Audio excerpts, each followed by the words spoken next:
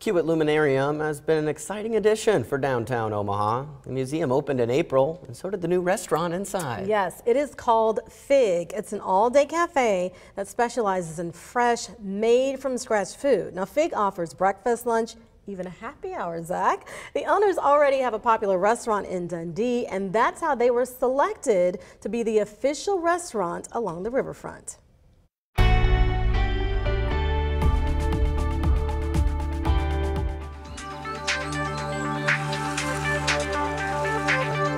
A visit to the Luminarium could stimulate your brain and your appetite. Omaha has been hungry for this museum to open. That's what FIG co-owner Claire Watson Bartolome is counting on. We are the only place to eat or drink on the riverfront um, with great views of the river and the new parks. The name is a play off the museum and science. So when you read a scientific paper and you see like Fig 1, like figure 1, figure 2, when they're showing you graphs and pictures. So that's why it's Fig with the period. She and her partners also own Lola's Cafe, but they say Fig has its own identity. We like to say that it's related to Lola's. This menu is designed for people discovering the newly opened parks and museum. We want to be approachable for whoever's going to walk in, whether you just want a pastry and a coffee to sit here or the ladies who lunch, whatever that may be. We've got I want to be that. Yeah. can I be Come that? have a glass of wine. You can get everything from a juicy burger to this sweet and spicy salmon and plenty of pastries. Oh, they love the citrus cake and the banana bread, the Lola's chocolate chip cookies. What's your favorite item on the menu? I love the hummus bowl. Chef Natalie Rutten showed me that bowl, which, by the way, is a Fig favorite. So we have our in-house roasted sweet potatoes. We have pickled beets that we pickle in-house, quinoa. This is gonna be a cabbage that we thinly slice here and then toss in our lemon vinaigrette that we make. Okay. Under the bread here, you can't really see it, but we have our shredded chicken Ooh, tossed good. in a tahini vinaigrette. And then our hummus, it's one of the best hummuses I've ever had. Really? So, yes. It also comes with sliced baguettes. All of our bread comes from Lola's, right, right there. Mhm. Lo Lola's. Oh yeah. All of our buns. Their burger is just as popular. It's made with two Morgan Ranch beef patties, one slice of white cheddar cheese, and all your favorite toppings. The best part may be the pillowy pain de mie bun. It's delicious. You can't beat that. No, can't no. I it. love a good grilled bun. That's my favorite. Having a little fun in the kitchen.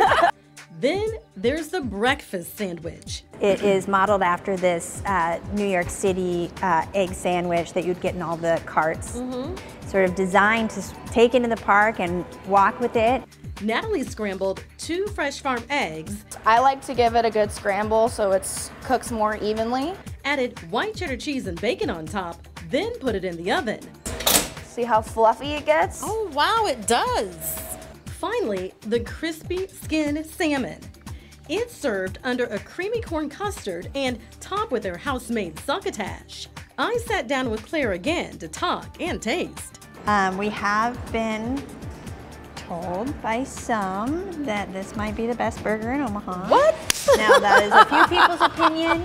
I'm not putting it out there. It's not a throwdown. I think you just did. I think you just did. Well, you know what? You just opened the door. So let's right. start. Let's start with this burger, which may or may not be one of you tell me. best in You tell me. I'll tell you.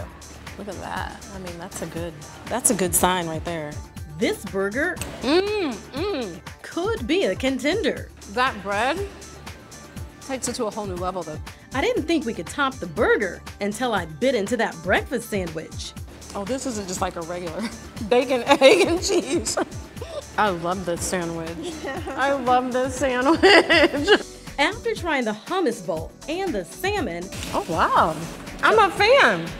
Something sweet. So this is a gluten-free sweet potato butternut almond cake. It's light, it's fluffy, it's moist, it's it's all makings of an amazing cake. That's delightful. I could say that for the entire cafe and of course, this view. The riverfront is now a destination. The Luminarium is a destination.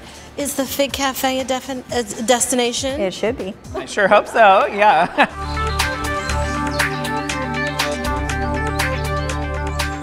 Make it a destination. Trust me, Fig is on 345 Riverfront Drive. It's open every day during the week at 10, 9 a.m. on the weekends. The cafe closes late on Thursdays because the museum has adults only night until 10. Did you guys know that? Yeah. There's also a kids menu. It has cheeseburgers, grilled cheese, chicken strips, all the things kids love. Plus, they have grab and go items that have that breakfast sandwich that I showed you, hummus snacks, pasta salads, drinks.